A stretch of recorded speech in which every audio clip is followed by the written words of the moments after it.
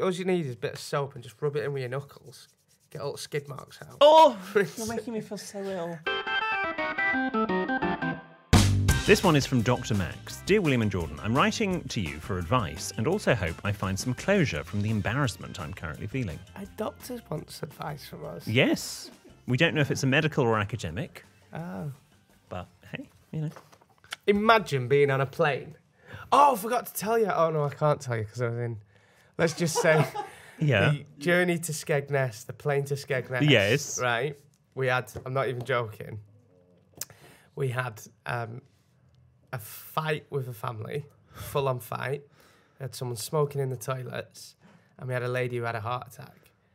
But can you imagine if you're on a plane Wow. and someone's having an heart attack and you go, Is there a doctor on board? And someone puts their hand up and he's like, Yeah, I'm only a doctor in media studies. You'd be like, what, Put your hand down, you dickhead. Is anyone else? Is there a proper doctor on board? But I can help the airline crisis manage the situation. Yeah, I'm a professor in science. Oh, well, no, we need a proper doctor. No offense to any professors. you need to tell us more. Can next week? Can you tell us more about the fight? Mm, I, I was, you know, I, I wasn't on the plane. It was on the train. Anyway, shut up. Move on. Okay. Uh, right, back to Dr. Max's letter. Usually, I'm a fan of a small flat white coffee, but this morning I was feeling very wintry, so bought a sugary, chocolatey monstrosity before boarding my two hour train. I'm really into flat whites at the moment. Are you? You're becoming like Ben. Within the first five seconds of boarding the train, I managed to trip over. Well, I'm not sure what. Thin air, I suppose. Sadly for the nice man sitting in the first class compartment, I lost grip of my drink in the panic of the trip. I'm unsure if I unintentionally added extra velocity into the flight of the coffee in my mid trip flapping, but either way, I launched the whole coffee, thankfully it wasn't too hot, right in the face of the aforementioned gentleman. Mm. Almost in slow motion, I saw the cup hit him, crumble, the lid pop off, and the chocolatey, milky contents erupt, and uh-huh. somehow manage to cover him from both chin up and chin down simultaneously. He has been quite gracious, considering, but we are now sat sit opposite each other, potentially for the next two hours. What should I do? I have ruined the first class compartment with a rather unpleasant, damp, milky coffee smell, not to mention the man's clothes. Thankfully, he was dressed casually and not in a suit. I, of course, have offered to pay for his dry cleaning, but do I stay in the compartment? Do I flee to standard class or get off the train completely? It has even crossed my mind that, as he is the one covered in milk, which presumably will begin to turn rather quickly given the heat of the train, maybe he should be the bigger person and leave himself. Thanks a latte in advance for your advice. Like it. Yours sincerely, Dr. Max. Dr. Max, uh, first of all, no, you've done the right thing there offering to do the dry cleaning. Absolutely. Um, and I don't think you should move, especially trains these days, because you probably won't get a seat. But I, I'll never forget this, right? Ever forget this? Did you ever used to watch The Real Hustle on BBC Three? No. Right, so there was a program called The Real Hustle because there was Really? there was there was Thanks hustle, for looping me in. there was Hustle on BBC One. Yes, I'm aware of and Hustle. then about some hustlers, but The Real Hustle was about some real life former Hustlers. scammers. Right? Right. And there was this one scam that I think was genius. Don't do it, but you won't be able to do it now. So this the guy, and it was done around London for years. A guy used to go go into a cafe and say, "Oh, one of the waitress um, spilt coffee on a really expensive tie." And she'd said, I just need to come in with the dry cleaning. And they'd be like, Do you know what waitress it was? And he'd go like that and he'd be like, Alice or something. She'd go, Oh, yeah, that's the one. He'd be like, She's not on shift today. So he'd get the manager of the cafe to write out a dry cleaning bill of £9, a check, right? So where am I going with this? So most most managers would just think, oh God, you're tight get. All right, I'll write you dry cleaning bill of nine pounds. There you go. So they'd write nine pounds. But when you used to write a check out, mm, Yeah. He used to put an extra zero in, so it'd be ninety pounds. And then when you write nine, he'd put a TY on it, so it'd be ninety. And he used to go around cafes in London doing Well, you could do that with an eight. Eighty pounds, or seven. Nine's more than eight, William. Why were you doing eight if you could do Yeah. nine? ninety, because hundred. right. So, and he, he made a fo- he made, made thousands off it. That's what it's really. So you could do that. Well, don't do Are you that. calling Dr. Max a hustler? No, because nobody has checks these days. Do you remember getting your first checkbook? I think I've still got mine somewhere. Yeah. Yeah. Uh, yeah. Have you, ever, have you ever had a check that's bounced? No. Oh, God. Yeah. You Anyway, probably, you probably have. does anyone else remember? I don't know where I was going with that. That just reminds me of dry cleaning bill.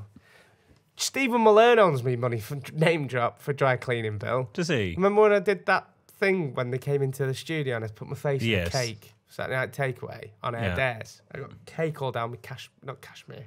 I got cake all down me. Um, Corduroy. no, what is up with me today? I can't think straight. Yeah, what one? What? Denim? No, not- Mohair. the one that's like suede. Suede. Oh, I got dry cleaned, and he said, "Salt them." I never did. Anyway, what's your advice?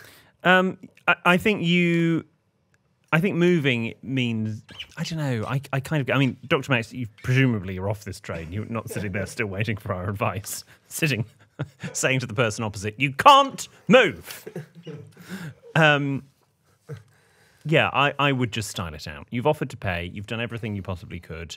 It's a funny story. We've had a bit of a laugh about it, but I wouldn't worry too much. My about it. top advice, and please, Gene Divas, I cannot stress this enough. Shout wet wipes. Right, I, I take them everywhere with me. Mm-hmm. I was introduced to shout wet wipes. If, like me, you slop all down your, and you're out for the day, especially coffee. It's you know shout the stain remover. Yep. They do little wet wipes, and I there's fun. If you get slops down here, just get one of them out, put it on your shirt, give it a wipe, it'll come out. So if you had shout Yeah, but then you've wipes, got a wet patch on you. yeah, but it dries. Shout Right. wet wipes. Invest in them. Right. Okay.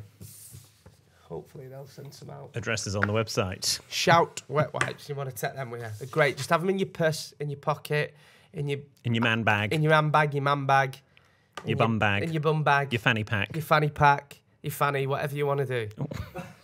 Right, that's Is something to shout about? How does dry cleaning work? Ben's just asked, "How does dry cleaning Right. work?" No, How does dry cleaning work? Right. You take your garment into the shop and Yeah, you but say, no, that's a good point actually. I, was, I read that letter and I was like, like wet, what? Wet makes sense because it washes it out. so within your. Is it a steamer when you? Yeah, no, good- it's so it's it's a take s- chemical clean. When you take something to get dry cleaned, what did he do? Well, they put it in a special machine and and clean it in a in a way that you wouldn't can clean in a normal wash. But if you look at your labels on um, clothes, let me just look Mm. here.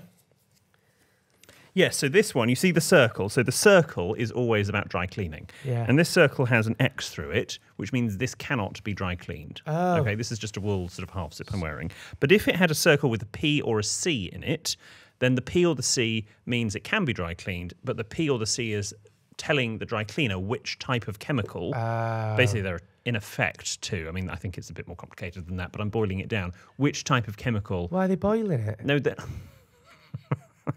Don't do that. to- forever. Don't boil the jumper. Um, yeah, which chemical they should use to clean it. Hear me out, because I've got stuff that is in a wash basket and needs hand washing. How do you hand wash? Does your washing machine have a hand wash setting? I don't think so. Right, well then take it to the dry cleaners. I would. But could Is you, is the easiest answer to so that. So what would you hand? How would you hand? you wash would it? need to go and buy things like woolite or some sort of go into the Right, I've heard enough. Thank you. Yeah, I ain't got time. and you wash it by hand Yeah. and you wring it out by hand. I've you done have that a on bucket of holiday water. when I run out of skiddies and stuff. Boxers. Yeah, I know. I think Have you ever washed your boxers in the? No. When you go on holiday, I did it recently in Skeggy. really? Yeah, I had to wash them and then put them on balcony. They don't have dry dry. cleaning in the hotel. Mm, they Or laundry. actually, but I'm not paying for that. It's a right rip off. Bless you. Yeah. Anyway, just give them a. All you need is a bit of soap and just rub it in with your knuckles. Get all the skid marks out. Oh, you're making me feel so ill. I'm joking. I'm joking. Right, this is from Louise, double D. Uh, Dear William Jordan and PB, thank you all for keeping me entertained with your podcast. I'm a relatively new listener and have been enjoying some of your back catalogue. My question is an etiquette one for you, William. My husband occasionally likes to hold his knife like a pencil. I have a real issue with this as I believe it to be common. Is this true? And is it ever correct to hold your knife like a pencil? Kind regards, Louise DD. Uh, This makes sense now. So Ben said, please could I come armed with some knives? oh, okay. Oh, God. I thought maybe, oh God, he's, he's, he's on one. Oh, Please, please note the tea towel. Jesus, look at that knife. That's such a fancy knife. Did I have that when I came to? Yes. Yeah, they're really noticing. hard to cut into. That's a butter knife, isn't it? No, that's not a butter knife. Is it not? No, that is a fish knife.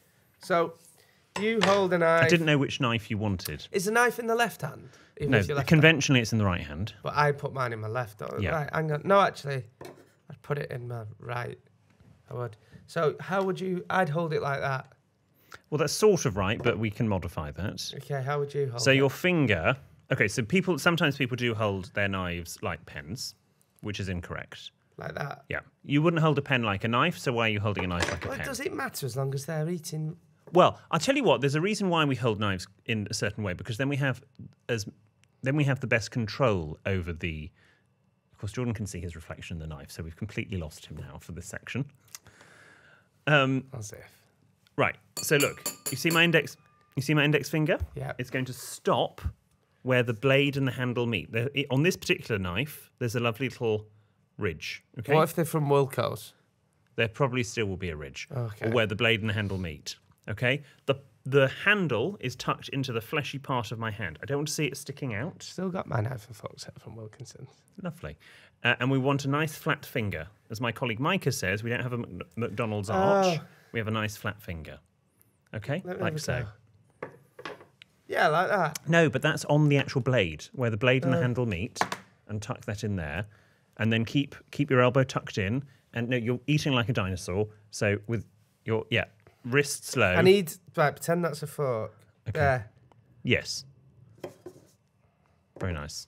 Same for that one. Well, f- so f- I brought a fish knife as well, conveniently. Fish knives are held in exactly the same way, finger going down, stopping just before the, the sort of the knife gets thicker. And then you would sort of just, if you were filleting the fish, you just turn your wrist and fillet the chunks off. But most fish now are served off the bone anyway, so you don't really need a fish knife.